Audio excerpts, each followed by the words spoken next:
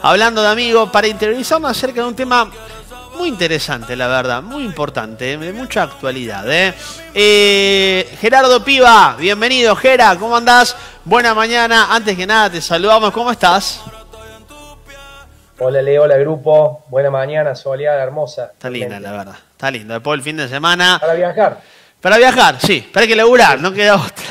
no queda otra. Ger, eh, antes que nada, bienvenido, nos encanta la verdad poder dialogar con vos y poder hablar de lo que ya estamos viendo en pantalla. El rol de la práctica regular del ejercicio físico sobre el estado psicoemocional. Y la verdad muy importante esto de cómo nos impacta el tema de la ansiedad, la depresión, cómo manejamos el estrés, si lo podemos manejar o no. A ver, Ger, te quiero escuchar, tengo algunas preguntas para hacerte, pero antes que nada, ponernos un poco en sintonía sobre la temática de hoy. Sí, principalmente, primero lo que marco ahí en el título, esto de la práctica regular, porque por supuesto cuando uno hace ejercicio o hace actividad física, deporte o cualquier que implique movimiento, tenés adaptaciones que son agudas y que son crónicas. Cuando uno lo hace de manera regular es cuando realmente tiene un beneficio sostenido en el tiempo, en el organismo, ya sea fisiológico como en este caso psicoemocional. Por empezar vamos a hablar un poquito de la cuestión emocional. En el organismo, en el cerebro, en el sistema nervioso central, lo que regula el estado anímico medianamente estable es la serotonina. Hay otros neurotransmisores intracerebrales como la dopamina, como las endorfinas y demás, pero fundamentalmente la serotonina.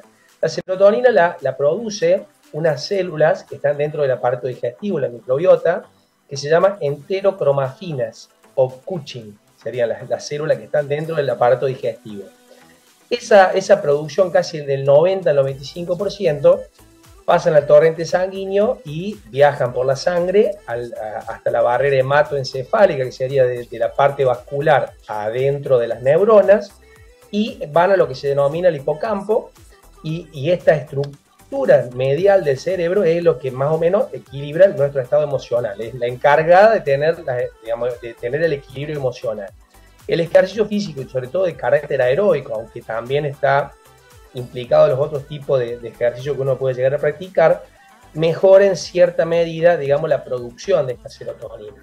Pero además, le suma las endorfinas, el ejercicio, que también es un neurotransmisor que ayuda en la producción de serotonina, y bueno, todo lo que tiene que ver con la, IGF, que es el factor proinsulínico, BGF, que sería el endovascular, hay un montón BDNF, que tiene que ver con el factor neurotrófico del cerebro, y toda una serie de neurotransmisores que equilibran el estado anímico de la persona, más, y además de la memoria, además de las ganas de aprender, la motivación, eh, bueno, todo ese tipo de cuestiones que, hacen al estado de, equilibrio emocional de la persona para bueno, afrontar la vida diaria.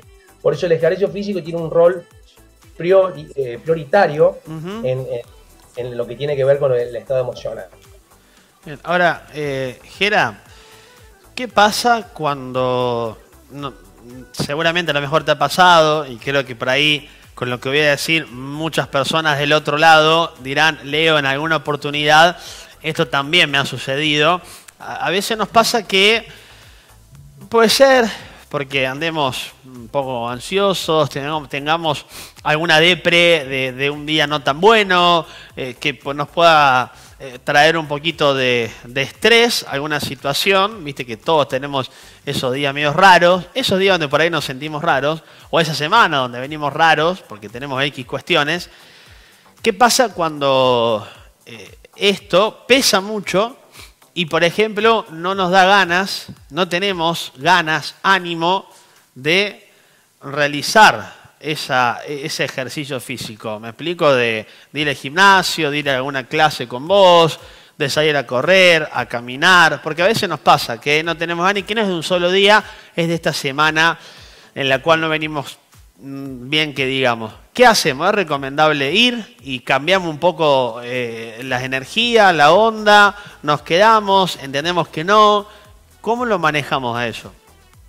justamente lo que hay que entender que más allá que por supuesto el ser humano es, es emocional, por eso se llama, no somos homo sapiens, sino la última parte de, esta evolución de la historia, se denomina homo emotus, somos seres emocionales, entonces por ahí lo que nos acontece en la vida nos hace que por ahí hay días que no tenés ganas, por supuesto, no tenés ganas de ver a nadie, otro día tenés ganas de estar con alguien, otro día tenés ganas de hacer actividad física, otro día te comes el mundo y el otro día te querés encerrar y aparte y no ver a nadie. Eso es normal que pase, pero lo que hay que entender es que la práctica de ejercicio físico, más allá de que sea forzada, va a ayudar en la producción de serotonina, en la producción de otros neurotransmisores intracerebrales y eso va a mejorar el estado anímico, per se que tenemos en ese momento. Aparte hay que entender otra cosa. La ansiedad y el estrés es un mecanismo ancestral de adaptación al medio. Es decir, los primeros homínidos, desde el punto de vista biológico, cuando salían a, digamos, de fuera de sus chozas y salían a buscar alimentos, se, digamos, enfrentaban a predadores. Entonces, el, organismo en ese momento lo que hacía a nivel de la, de la, hipófisis, que es una parte también del cerebro, una estructura cerebral, a las glándulas suprarrenales, liberaban cortisol, al igual que la adrenalina, y eso hacía que, uno tuviese más frecuencia cardíaca, que tuviera más agudeza visual, eh, redistribuyera la sangre del aparato digestivo, los músculos esqueléticos para luchar, huir. Entonces ese mecanismo es normal. ¿Qué pasa hoy? Esos predadores no existen. Pero ¿qué tenemos hoy? Los pensamientos. Nuestro cerebro no puede distinguir entre una, amenaza real que uno puede llegar a tener y una que puede ser imaginaria o evocada por nuestra, nuestro pensamiento. ¿A qué voy con esto? A lo mejor cuando uno se pone, rumea la cabeza, no llego a fin de mes, no voy a poder comprar esto, eh, no voy a poder hacer tal cosa, o pasó un amigo eh, problematizado por la calle y no me saludó y está enojado conmigo. Todas estas cuestiones hacen que uno, a nivel de las glándulas suprarrenales, a nivel de la hipófisis, produzca cortisol. El cortisol es una hormona deleteria que destruye desde, el, cerebro la memoria, concentración, a todo el organismo, la, las células grasas, eh, aumenta el valor glucémico de sangre, es un desastre. ¿Qué contrarresta eso? La oxitocina. Y la oxitocina también se mejora con la práctica regular de ejercicio físico. No solamente con la práctica regular de ejercicio físico, sino también con un abrazo, con una, muestra de cariño. Todas estas cuestiones hacen que la oxitocina, que es otra hormona muy importante, la hormona del amor que se dice, ayuda a contrarrestar el cortisol y bueno, no, se produzcan estos efectos deleterios. La oxitocina tiene, eh, es, dentro del organismo es, es muy particular porque en el organismo funciona todo por bucle de retroalimentación, positivo o negativo. ¿Qué significa eso? Eh, la mayoría son negativas, es decir, por ejemplo, vos tenés fiebre, generás una fiebre porque tenés algo interno que tenés que regular para seguir manteniendo la homeostasis del equilibrio de la vida, y vos tenés fiebre y el organismo hace algo para bajar esa fiebre. Eh, vos te tocas, por ejemplo, algo con la mano, algo que esté caliente, lo que hace el organismo es generar una referencia motora para que vos puedas sacar la mano. La oxitocina funciona, por ejemplo, cuando la mamá eh, va a dar, no por cesárea, pero por parto natural, eh, tiene los nueve meses, 39 semanas de embarazo y va a dar a luz. Por ejemplo, cuando el bebé va a salir por el canal de parto, la oxitocina en vez de cerrar el canal de parto, porque actuaría como negativo, actúa como positivo. Dilata el, digamos, canal de parto para que el bebé nazca. Al igual que la, la prolactina y la oxitocina cuando el bebé succiona el pecho de la mamá para alimentarse, en vez de la, leche dice para adentro como negativo, lo es positivo porque va para afuera. es uno de los pocos mecanismos de retroalimentación positiva que tiene el organismo, además de la función de equilibración de lo, que tiene que ver con el cortisol y el estrés. Ahora, Ger, te consulto, eh, siempre bueno eh, escucharte porque nos dejas un aprendizaje. Em, cuando nosotros hablamos de una práctica, del rol de la práctica regular, ¿Hay algún, alguna cantidad de días específicos por semana en la cual, por supuesto que después entran variables, lo laboral, la familia, si puedo no puedo, mm, la agenda de cada uno, la rutina de cada uno, pero digo, eh, ¿cuál sería la práctica regular ideal semanalmente eh, para que uno como persona pueda ejercer este, este ejercicio físico? Porque lo mejor, si yo voy el lunes, si yo voy hoy, hago X, X tarea física hoy, pero vuelvo el martes que viene y no sé, la verdad, si estoy cumpliendo con esta eh, regla de un ejercicio regular, ¿no? Lo primero que hay que ver, es eh, que, digamos, dentro de lo que es el programa de entrenamiento que uno tiene, tiene que tener varias aristas, digamos. Uno tiene que estimular la parte aeróbica con todas sus variables, subaeróbico, superaeróbico, lo que uno quiera, aeróbico. Después uno tiene que trabajar la fuerza, la flexibilidad, la coordinación, hay una serie, de, tiene que ser multimodal el entrenamiento. Eso, punto número uno, como ideal. Vos me estás preguntando la idealidad, digamos, yo te marco esto. Por otro lado, el estímulo no debe pasar las 48 horas. Es decir, lo ideal sería todos los días, pero si uno, por ejemplo, va el lunes, mínimamente el miércoles y el viernes debería hacer actividad física. Y si uno puede, meter un estímulo más el fin de semana. Eso es lo mínimo. La Organización Mundial de la Salud habla que uno tiene que tener un estímulo de 150 minutos semanales mínimo, mínimo, para conservar una calidad de vida. Yo lo traspolaría y lo llevaría mucho más allá, por lo menos 300. Pero bueno, eso es lo que plantea la Organización Mundial de la Salud, que bueno, que ellos eh, hacen investigaciones en el mundo y sacan resultados en función de, lo, bueno, de la estadística que hacen. Pero por lo menos no tiene que pasar las 48 horas. ¿Por qué? Porque si no, se diluye el efecto. ¿Me explico? Por ejemplo, un efecto agudo del ejercicio es, cuando uno hace ejercicio, ¿qué hace? Aumenta la frecuencia cardíaca y la frecuencia ventilatoria. ¿Por qué? Porque vos demandas que la sangre se mueva más rápido, que vaya a los músculos esqueléticos y necesitas un poco más de comburente de oxígeno. Por lo tanto, apenas te mueves inmediatamente, lo agudo es eso. Pero una, una, adaptación crónica a eso es la, la, mejoría en la fracción de eyección sanguínea. ¿Qué significa eso? La cantidad de sangre que expulsa en cada sístole el corazón. Y eso se mejora con el ejercicio sostenido.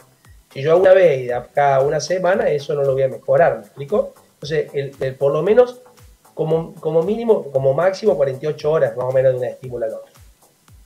Muy bien, ¿eh? Ger, eh, para la gente que nos está viendo, hay que salir a hacer actividad física, hay que tratar de ponerle un poquito de gana. A mí me pasa a veces que llego cansado, que estoy muy ahí, que no sé si mueve la cabeza, que qué sé yo. Y la verdad, uno va, se mueve un poquito y, la cosa cambia. Estimula un poco, eh, sociabiliza también, porque uno, en tu caso, ponele, si, si, si va, el profe ya está con una energía, los que van también, y ya me parece que eso te cambia. Te quiero consultar algo, aprovecho el, tema.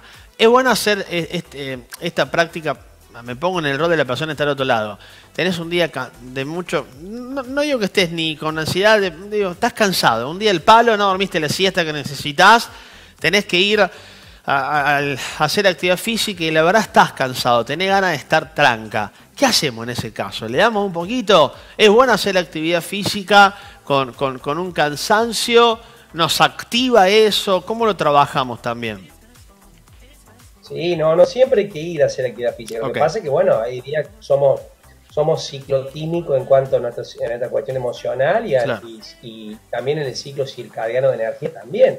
Eh, uno podrá hacer, a lo mejor no puede correr una maratón, un día que está cansado y demás, pero puede hacer, o que sea un poquito que nos va a hacer bien. Está comprobado que, por ejemplo, cuando venís con todo el estrés laboral, venís a tu casa, supongamos estás con tu pareja, o con tu hijo y demás, si vos venís con todo ese acarreo de problemas, de lío, de bucle de, negatividad y demás, si vos venís, lo primero que podés llegar a hacer es descargártela con, con la gente que no se lo merece, que es tu familia, que son tus seres queridos.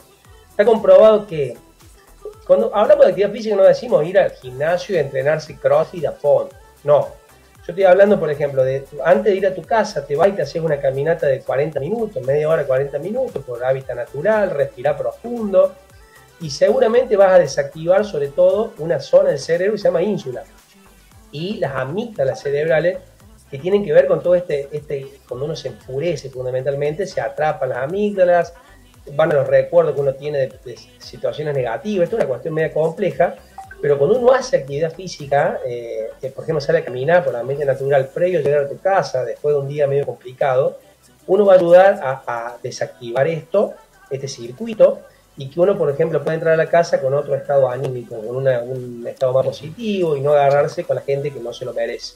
Eso es un detalle que está estudiado, que hay gente que habla y que investiga eso, que es muy bueno. Por eso, el hacer actividad física en un día así medio complicado, cansado además, uno tiene que ver qué puede hacer para poder desactivar todo este estrés y poder eh, compartir con los seres queridos de la mejor manera. Ger, queremos agradecerte la amabilidad de siempre enseñarnos eh, sobre situaciones tan cotidianas. Esto es tan cotidiano, Ger. Y me gustaría, y, me encanta, que eh, empecemos a hablar, Ger, de, de esto de la ansiedad, de la depresión, del estrés, de cómo a través del ejercicio físico, regularmente semana a semana, podemos ir paliando un poco esto que eh, no digo que, no sé si la palabra o el término sea, se ha puesto de moda. Capaz que lo utilizo porque hace 15 años atrás, 20 eh, años atrás, ansiedad, depresión, manejo de estrés era como raro y ahora se habla mucho más. Y me encanta y celebro de que se hable, porque algo que nos pasa día a día, todos eh, estamos ansiosos por algo, todos nos bajoneamos por algo y muchas de las situaciones que vivimos rutinariamente, más con, en la condición que estamos hoy por hoy a nivel país sin entrar en cuestiones políticas también nos genera un poco de estrés. Esto de no saber qué va a suceder con el precio de tal cosa o lo que sea. Entonces me parece muy bueno que a través del diálogo que nosotros tenemos en cada una de las columnas que hacemos Ger con vos, con algo tan simple y con mucha voluntad de hacerlo y de crear el hábito, si no lo tenemos, eh, lo podemos ir paliando, como es el, el ejercicio físico. Yo muchas veces le digo, yo no soy una persona que tenga el hábito de em, el ejercicio físico. Hay personas que, lo tienen incorporado y lo eh, llevan como un estilo de vida. Bueno, yo creo, estoy crea, trato de crear ese hábito, sé que me hace muy bien y bueno, en base a eso hago ejercicio, salgo a caminar, voy a andar en bici, eh, me, pongo esos objetivos, esas metas. Bueno, a través de esta charla creo que dejamos un mensaje, Ger, eh, muy importante. Así que bienvenido sea que tengamos en el caso a futuro más temas que se vinculen de esta manera, porque me parece que es algo genial para seguir profundizándolo y para seguir hablándolo. Sí, Leo, totalmente. Eh, más allá de esto de que guste o no guste, uno tiene que entender la importancia que tiene. Por ejemplo, vuelvo a repetir, un día, Leo, de muy loco y está con, venir a ver a tu pareja, venir conmigo y a lo mejor te enojas o cualquier cosa, estás irritable. Y vos sabés que haciendo un poco de ejercicio te va a ayudar a que vos puedas metabolizar ese cortisol y que puedas estar un poco mejor. Y no solamente el ejercicio, habíamos hablado recién que un abrazo, una, una caricia, una buena palabra, eh, produce lo que es la oxitocina, que también tiene un efecto fundamental, la meditación. Meditar no es ser un Buda, es es trabajar la respiración, es aislarse un poquito, es concentrarse en uno mismo y la respiración también te ayuda a bajar muchísimo el cortisol de, la sangre. Entonces, todas esas cosas contribuyen a un, bienestar, a una buena calidad de vida. Más allá de que no vamos a cambiar las situaciones que nos rodean, que nos, acontecen, pero sí podemos ver que todas estas herramientas nos ayudan a que podamos equilibrar y mantener un estado emocional medianamente estable. Ger querido, te mandamos un abrazo grande, buena semana y nos vemos la próxima. Saludos, Leo, buena semana y bueno, hasta la próxima. ¿eh? Abrazo grande, como siempre. Gerardo Piva aquí con nosotros, doctor en ciencias de la, eh, del deporte, nos encanta, la verdad, hablar con Ger, increíble, ¿no? Como una cosa está conectada con la otra y lo importante que es crear este hábito regular de actividad física semana tras semana.